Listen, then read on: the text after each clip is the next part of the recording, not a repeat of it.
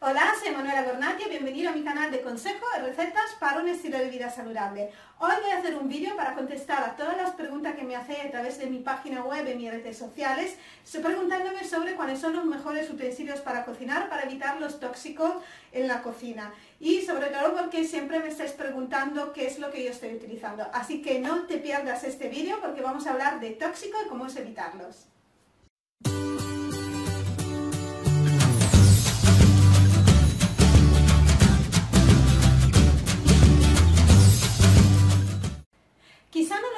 Pero según la OMS, el 80% de las enfermedades modernas tienen que ver con una dieta contaminada. ¿Qué significa esto de la dieta contaminada?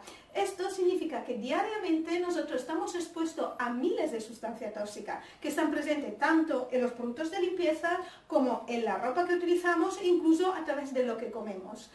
En la cocina podemos encontrar tres zonas de riesgo. ¿Cuáles son? Una de los mismos alimentos que comemos porque pueden contener aditivos, pesticidas, etc. Por eso yo siempre recomiendo, y soy una fan de los alimentos ecológicos. Luego también a través de donde los cocinamos los mismos utensilios que utilizamos pueden transferir sustancias tóxicas a nuestros alimentos. Luego lo hablaremos más en detalles. Y finalmente los procesos de elaboración y conservación, el utilizo de plásticos, de envases, de, de lata, pero incluso la alta temperatura a la cual cocinamos. Todo esto lo vamos a detallar durante este vídeo. ¿Qué ocurre? Todos estos productos químicos son tóxicos para nuestro cuerpo, o sea, tienen un efecto nocivos, ¿vale? Para el cuerpo. Luego hay otras cosas peligrosas que son persistentes. ¿Qué significa? Que como se han creado artificialmente, no se descompone de una manera gradual, por eso no son biocompatibles, se mantienen en la naturaleza durante tiempo, pero también en el cuerpo son persistentes. De hecho, son bioacumulables. ¿Qué significa que son bioacumulables? Que se acumulan con el tiempo. No es que lo voy perdiendo, se van acumulando uno detrás de otros. De hecho, el problema es, no es lo que estás comiendo hoy, lo que estás ingiriendo hoy, es todo lo que se va acumulando en un año, en 5 años, en 10 años, en 20 años de tu vida, en 40 años y en 80 años. Todos estos químicos que están presentes en los alimentos, en los utensilios de cocina que utilizamos para cocinar y que se van acumulando, actúan en el cuerpo como disruptores endocrinos. Los disruptores endocrinos son peligrosos porque alteran nuestro sistema hormonal, actúan como si fueran unas hormonas, engañan un poquito nuestro cerebro y nuestro cuerpo y envían mensajes equivocados y confusan nuestros organismos, ocasionando por lo tanto problemas de salud y efecto irreversible. Está demostrado que hay enfermedades que están relacionadas con los disruptores endocrinos, como algunas que afectan la salud reproductiva tanto femenina como masculina, como puede ser la infertilidad, la menopausia precoz, etc. Los trastornos del metabolismo, como puede ser la obesidad, etc. Y también problemas cardiovasculares o incluso alteraciones, enfermedades neurológicas que tienen que ver con las alteraciones conductuales. Entonces, ¿dónde podemos encontrar todos estos problemas en nuestra cocina? Bueno, antes ya te he cenado algunos, algunos lugares, ¿vale? Pero principalmente lo encontramos en pesticidas y plaguicidas que vienen utilizados en la agricultura, los aditivos como los conservantes, los estabilizantes, los saborizantes que normalmente suele utilizar la industria eh, alimentaria para producir los alimentos, por eso es tan importante evitar los alimentos procesados y ultraprocesados porque son ricos de estos componentes, pero también en metales pesados tóxicos como el arsénico, el mercurio, el aluminio, el plomo, el cadmio, el níquel, que están presentes incluso en nuestra cocina como en ciertos alimentos, como puede ser el pescado, puede contener mercurio o alimentos enlatados y sobre todo los utensilios de cocina son la, principal fuente de tóxicos que pasan a los alimentos. Pero también eh, podemos encontrarlo en antibióticos y hormonas, que normalmente suelen utilizar el ganado, el bisfenol A, que suele estar presente en los envases, en las latas, en los plásticos, las botellas, y los talatos, que están presentes en envases, en productos de limpieza y en la ropa. Así que como has visto estamos rodeados de tóxico, pero además hay otro riesgo en la cocina que se debe al proceso del cocinado. O sea, la manera en que elaboramos nuestros alimentos puede ser nuestra mejor salvación o también puede ser perjudicial si no lo hacemos adecuadamente. Esto yo siempre lo digo, tanto en mis vídeos como en mi charla, siempre os invito a cocinar de una manera saludable. ¿Por qué? Porque podemos tener un riesgo de, toxicidad también a la hora de cocinar. Y esto un poco, ya lo hemos visto antes, a través de los materiales, pero incluso a través del proceso de cocinado.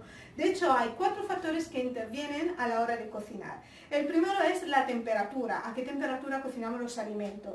El segundo es el tiempo, durante cuánto tiempo. Sabemos que cocción es muy larga a alta temperatura, cuando además se juntan esos factores son eh, terribles pero también si cocinamos con un exceso de agua, porque en el agua se diluyen los nutrientes, y si también cocinamos con mucho aceite, porque sabemos que el aceite a alta temperatura puede ser tóxico. Voy a explicarte en los detalles cada uno de estos puntos. ¿Qué es lo que ocurre con la temperatura? Bueno, sabemos que las altas temperaturas pueden producir una transformación química irreversible en los alimentos, que incluso lo puede desnaturalizar. Incluso cuando nosotros llegamos a cocinar en exceso un alimento, bueno, visiblemente lo vemos, visualmente lo vemos que se quema. Este quemado, que muchas veces en algunas personas gusta quizá un poquito más, el más crujiente, pero incluso cuando se hace quemado, sabemos que es una sustancia tóxica que tiene un nombre, se llama acrilamida. La acrilamida es un proceso químico tóxico que se produce cuando cocinamos los alimentos, sobre todo ricos en azúcares, como puede ser el pan, las harinas, pero incluso las patatas, ¿vale? Todos los alimentos, eh, los alimentos almiráceos. Cuando lo cocinamos a una temperatura superior a los 120 grados, y eso simplemente es cuando uh, simplemente freímos o cocinamos a la plancha a alta temperatura también, eh, corremos el riesgo que se produzca esa sustancia. El acrilamida es un compuesto que la OMS define como cancerígeno. Por eso es importante evitar comer alimentos quemados. Entonces, ¿cuál es la temperatura ideal en la cual tenemos que cocinar los alimentos? Y así voy a contestar a una de vuestras preguntas. Bueno, la temperatura ideal es cocinar los alimentos entre los 70 y los 90 grados. Así nos recomienda la OMS.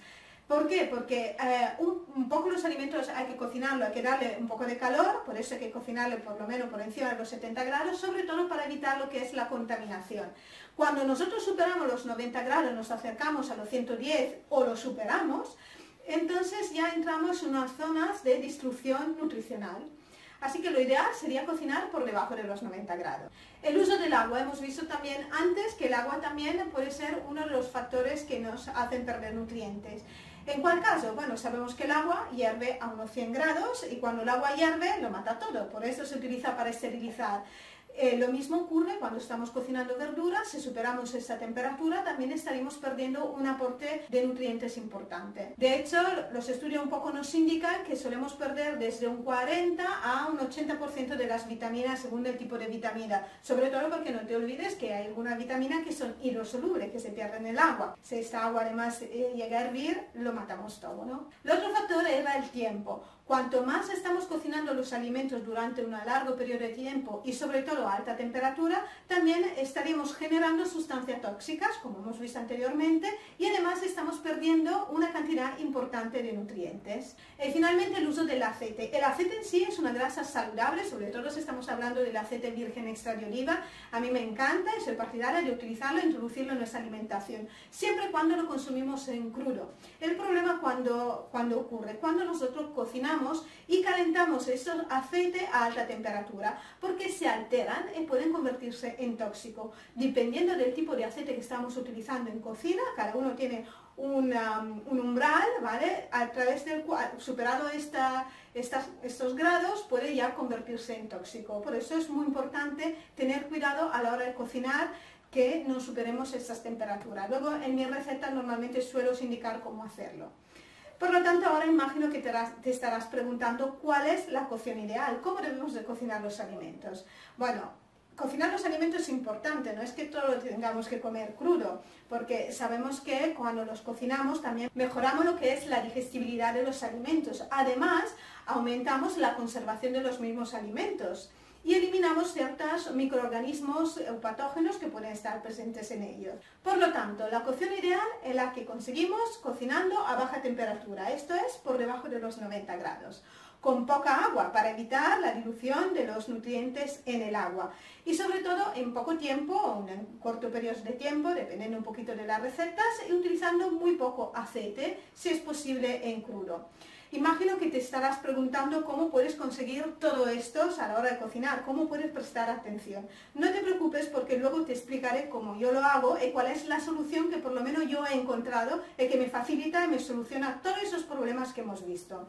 Ahora sí que te quería hablar de cuáles son los materiales tóxicos que están presentes en nuestros utensilios, para que tú tengas una idea, eh, para que puedas escoger mejor los utensilios de cocina. Empezamos con el aluminio. El aluminio es un material que por suerte, por sanidad, ya ha sido eliminado desde el año 2000. Son estas ollas antiguas que como puedes ver, eh, la que utilizaban nuestras abuelas, tienen un color gris mate, son muy ligeras y antiguamente se utilizaban en todo, en los colegios, en los restaurantes, etc. El problema del aluminio es que es un neurotóxico, que significa que se acumula en el cerebro. Además, se transmite directamente a los alimentos sometidos en el calor. Cuando se cocina, se caliente, eso pasa directamente a, a los alimentos. El segundo material tóxico que está presente en nuestra cocina es el teflón. El teflón es un material sintético, como puedes ver, eh, normalmente suele tener un color negro. Se deteriora con facilidad, imagino que te habrá pasado seguramente ver las sartenes de ese tipo rayadas, ¿vale? Se desprende con mucha facilidad y lo peor de todo es que cuando se desprende, eso llegamos a comerlo.